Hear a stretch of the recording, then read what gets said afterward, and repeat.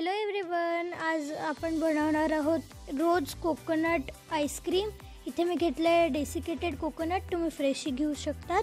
One cup vanilla custard powder one cup Rooh Afza आणि अशा बॉटलमध्ये येत येणारं असं सिरप सिरपही तुम्ही घेऊ शकतात.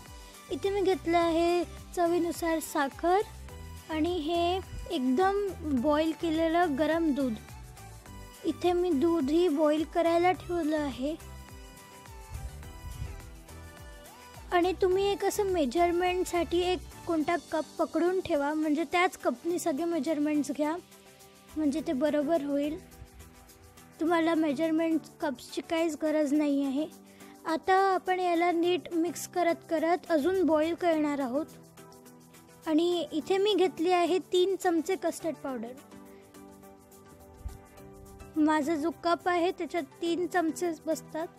म्हणून तुम्हीही जर असं कोणता कप किंवा कोणता बाऊल असं फिक्स करून ठेवला तर तुमचंही बरोबर मेजरमेंट येईल. आता मी इथे एक लंप फ्री बॅटर बनवणार आहे. याला नीट मिक्स करून.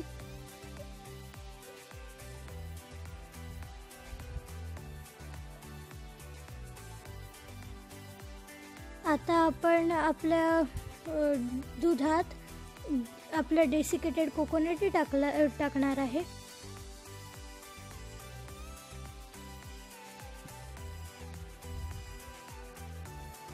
आता आपलं जे रम लमफ्री मिक्सचर झालं आहे असं त्यालाही आपण आपल्या याच्यात टाकणार आहोत दुधात.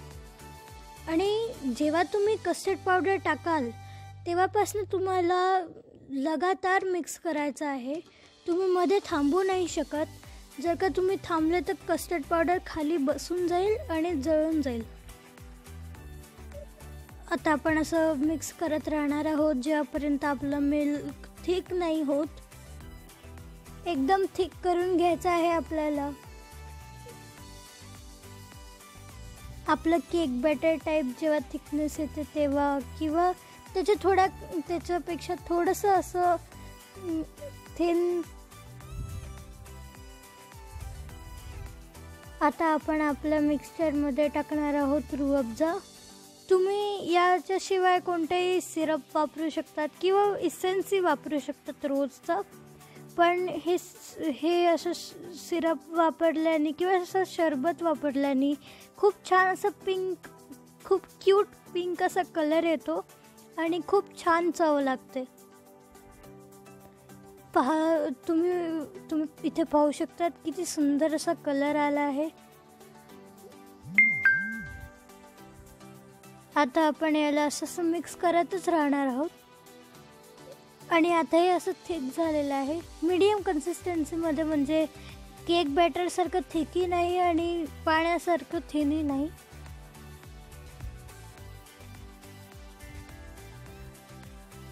आता आपण त्याला अजून बॉईल करणार आहोत.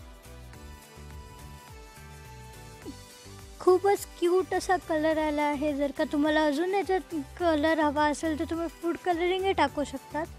पण मला नॅचरल आवडतं. नॅचरल कलरच मला हा आवडला होता तर म्हणून मी स्किप केला आहे फूड कलरिंग आता आपलं मिक्सचर असं दिसतं आहे. ह्याच्यात आपण टाकणार आहोत चवीनुसार साखर. तर तुम्ही पहिले चव पाहून घ्या की तुम्हाला साखर हवी आहे की नाही. तुमच्या मनानुसार आहे. याच्यात मला जरा साखर कमी वाटली म्हणून मी थोडी सोडी थोडी साखर टाकून घेते आहे. मी एक कप घेतली होती म्हणजे जो आपला पहिलेचा बाऊल आहे त्याने मेजर करून एक एक कप घेतला होता. पण मी अर्धाच कप टाकली. आता आपल्याला अशा कोणत्या मोल्डमध्ये किंवा कोणत्या जुन्या आईस्क्रीमच्या डब्यात असं हे टाकून द्यायचं आहे. आणि याला फ्रीज करायचं फ्रीजरमध्ये ठेवायचं आहे आपल्याला तीन ते चार तासांनी. तीन ते चार तासांनी आपण आपल्या मिक्सचरला हे करणार आहोत मिक्सरवरनं ग्राइंड की त्याच्यावरनं आपल्या त्या की त्याच्या याच्यात आपल्या याच्यात म्हणजे असे जे आईस क्रिस्टल्स असतात ते नस नसतील. ते पा इथे आपण नीट असं क्रश करून घेतलं आहे सगळं. म्हणजे आपल्या मिक्सरमध्ये एकदम असे आईस क्रिस्टल्स नको. तर आता आपण याच्यात आपण टाकून देऊ वापस आणि आता याला ओव्हरनाईट फ्रीज करून टाकू. आणि सपोज म्हणजे जर का तुम्हाला वाटत असेल की आत्ता फ्रीज नाही झालं आहे मिक्सरच्या प्रोसेसमध्ये तर थोडा वेळ अजून ठेवून द्या एक तास किंवा अर्धा तास. मग ते जे जेव्हा असं मीड मीडियम फॉर्ममध्ये येईल ना की सॉलिड ना की लिक्विड तर तशा फॉर्ममध्ये तुम्ही त्याला हे करा. मिक्स मिक्सरमध्ये टाका. तुम्ही इथे पाहू शकता किती क्रीमी झाली आहे. आप, आप किती क्रीमी आईस्क्रीम बनलं आहे. आता आपण याचे साईड्स जे आहे ते ओपन करूया. कारण आपण याला बरोबर असं ब्लॉकमध्ये टाकणार आहोत. याच्यात ताटलीत.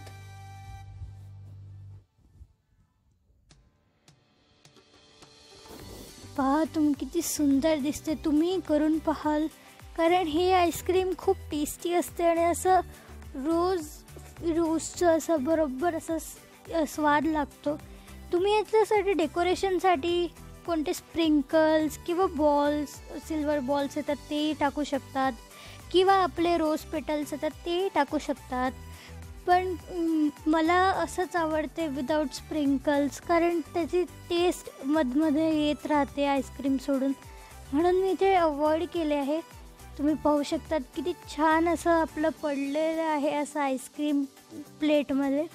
आता आपण याला डेकोरेट करणार आहोत आपल्या शि सिरपनी. असं असं पॅटर्न बनवू आपण कोणत्याही टाईपचं. असे लाईन्स लाईन्स. सिरप थिक असल्यामुळे तुम्हाला चमच्याने टाकताना प्रॉब्लेम जाईल. तिथे मला गेली कारण प्रॉब्लेम. माझं जमलं नाही. पण तुम्ही जर का तुम्ही एक्सपर्ट असाल असं कामात वगैरे वगैरे तर तुम्ही असं करू शकतात. म्हणजे ते छान दिसते. आता आपण याला कापणार आहोत. मधून कापूया पहिले.